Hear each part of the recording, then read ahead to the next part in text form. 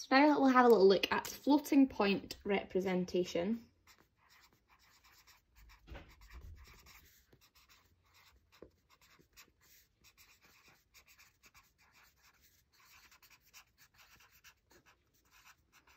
So this is where we look at now storing numbers with decimal places in them. So at higher level, we don't actually have to be able to, to convert these, even though if you have a little look at the PowerPoint provided, you can find out a little bit more information about how it actually works. So in the exam, you'd be given a, a binary floating point number. So it would be something like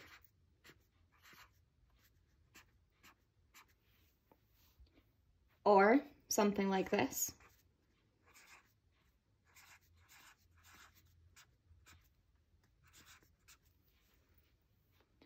So in these scenarios, this is a sort of bigger number than this one here. And um, this is a very precise number. Um, but I will tell you a little bit more about that in our next lesson. But for our first example here, so we'll go for this being number one, and then this will be number two. So I'll show you these two examples of floating point representation and what you need to know for your higher exam. So first of all, we need to figure out is this number positive or is this number negative? So the first thing we look at here in number one, this number is positive. It would have a minus before it if it wasn't. So this means our sign is going to be zero because we know that's a positive number. So we don't start off with our, um, our number one at the beginning. We then go on and we check, right, how far do we move this number? One, two, three, four. So we move it four positions. Okay. If we were asked in the question, because you're usually asked within the question, how many bits you can store your mantissa in. So here we go, mantissa. And then exponent. So if we were saying 16 bits to store mantissa and sign bit. You would be told this in the question though, it's not something you have to figure out. And then you do eight bits for exponent. So what we need to do is we need to write out this whole number starting right where the new decimal place should be. And we write it out 1010 one, one, one. So how many numbers have we got there once we've written out our whole number? One, two, three, four, five, six, seven. We need to make this all the way up to 16, including our sign bit. So we've got eight numbers altogether, including our sign. So then we go in and we go 9, 10, 11, 12, 13, 14, 15, 16. And you add on these trailing zeros at the end here and it always needs to be on this side, so it needs to be on the right hand side if you're looking at the paper.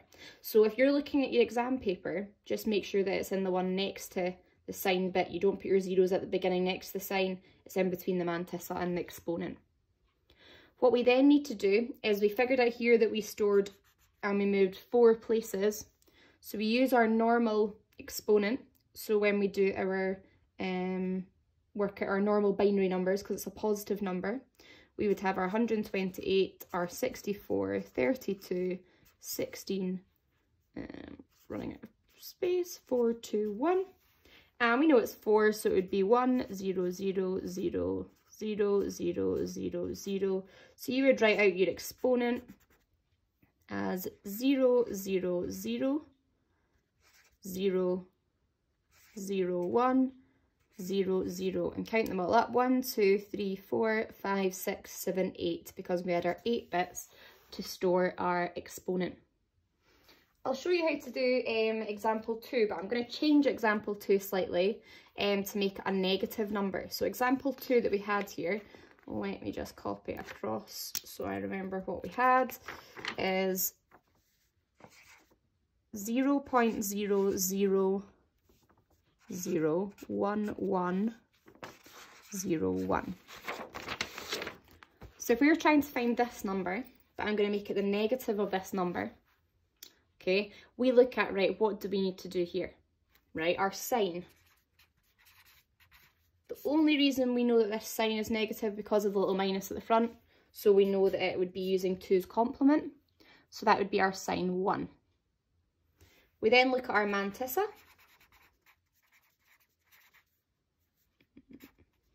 If I could spell. And then we're going to go on and we're going to do our next bit. So our number here moves to get it to where we want it to be at the start of the number. It goes 1, 2, 3. But it goes negative 3 because it's moving to the right. Okay, because that number is moving negative 3, it means for our exponent, we would be using 2's complement because it's negative 3. And that's what you've learnt about previously.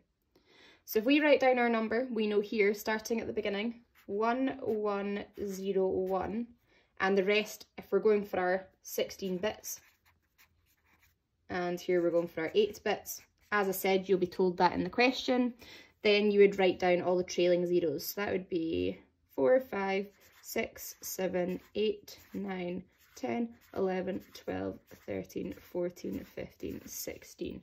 Okay, so that is the easiest mark adding on those trailing zeros. Okay, and adding them on there. We then need to do our exponent where we work out, right, we've got negative 3. So the first thing I do with using my 8 bits, 128, or I'll move it down here actually so I can put my answer in there. 128, 64, 32, 16, 8, 4, 2 and 1, just fit it in this time and I write in, right, we've got to find positive 3. For our negative number, we invert all the bits. And we plus 1. So negative 3 is this number in our 2's complement binary. So that would be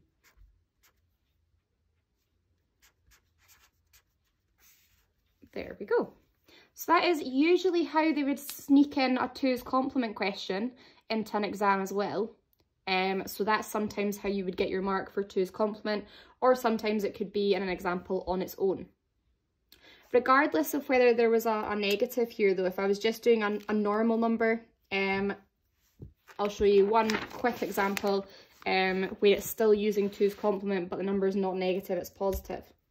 So in here we've got 0 0.010. I'll just go for this. Okay, a really small number. It moves negative 1. Okay, so that's our exponent. We'll just do the sign bit we know is positive because there's no minus at the beginning. Oh, sorry, that should be a big zero, not a one. And then we got, sorry, I've gone off the page slightly, and then we've got our mantissa. I'll store using 8 bits this time, just considering a different question. 1, 0, 0, 0. And then here we go. So I've just got three more zeros. So that's using 8 bits to store both of them. It will specify in the question though if it's storing it, including the sign bit or just the mantissa on its own. We've then got the exponent, which here is negative 1 because it went to the right. And remember from our previous example, if it goes to the left, then it's positive and it's normal binary. So we go 1, 2, 8, 64, 32, 16, 8, 4, 2 and 1.